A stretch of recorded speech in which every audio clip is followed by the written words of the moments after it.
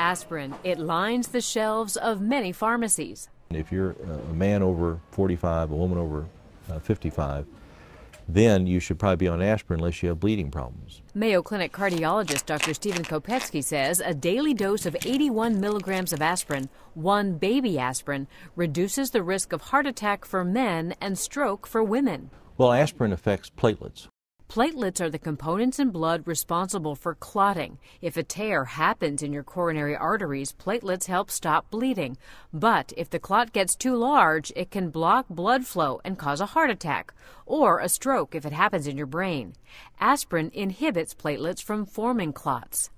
Dr. Kopecky says you can take any make of aspirin you want, but pay attention if you're taking coated aspirin, the type that's easier on your stomach.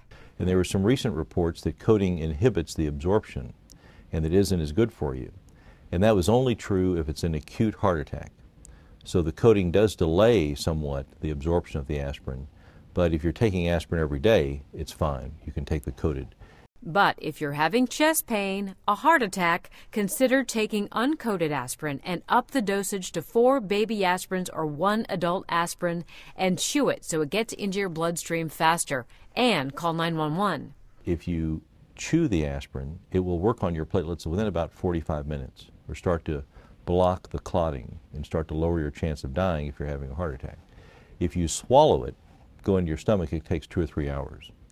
So for daily use, swallowing is fine. If it's acute, urgent use, it's better to chew it.